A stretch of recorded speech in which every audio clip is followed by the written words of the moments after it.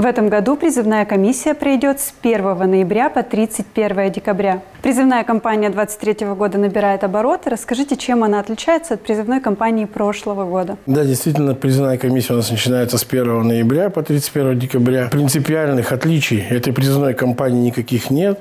Срок призыва, предоставление отсрочек, освобождение от призыва – все как по действующему законодательству, без каких-либо изменений. Расскажите, сколько призывников отправятся на службу? Если исходя из прошлогоднего периода, прошлогодней призывной кампании, э, количество призывников существенно не поменялось. Наряд на военный комиссариат точную дату сказать не могу, но если э, брать в общем, то процентов на 3-5 на 5 будет побольше призывников в эту призывную кампанию. Как обстоят дела со здоровьем призывников? Что об этом говорят специалисты? Ребята и морально, и физически готовы к службе в вооруженных силах. Единственное, вызывает очень большую озабоченность – это состояние зрения призывников наших. Поэтому мы же с вами понимаем, что гаджеты очень сильно влияют, поэтому ребята физически очень здоровые, выносливые, но, к сожалению, по зрению не пойдут в те части, которые они хотят идти в спецназ, в воздушно-десантные войска. Но в любом случае мы всегда идем навстречу призывникам, учитываем их пожелания. Ну, что хотелось подчеркнуть, что самое главное – это в первую очередь состояние здоровья призывников.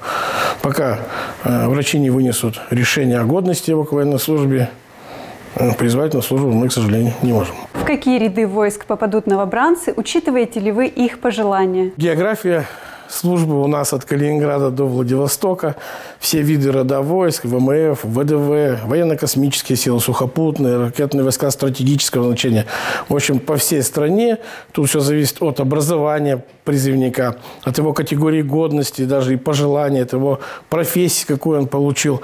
Сегодня вот у нас ребята хотят вместе уйти одной компании, с кем росли во дворе. Конечно, мы пойдем им навстречу и я думаю, что учтем все их пожелания. Когда на окружной пункт сбора отправится первая команда призывников, готовы ли к их встрече? Какие там условия? Окружной сборный пункт у нас расположен на базе регионального центра военно-патриотического воспитания «Авангард» в городе Ноябрьск. В общем, все условия, какие необходимо созданы, это комфортное проживание в казармах, это трехразовое горячее питание у ребят будет, это спортзал, с ними уже запланирована культурно-досуговая работа на весь период призыва.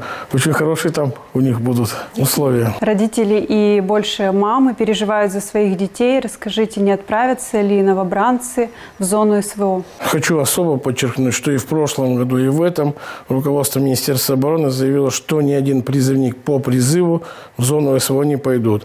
И те ребята, у которых заканчивается срок службы по призыву, вовремя будут уволены и прибудут будут места постоянного проживания.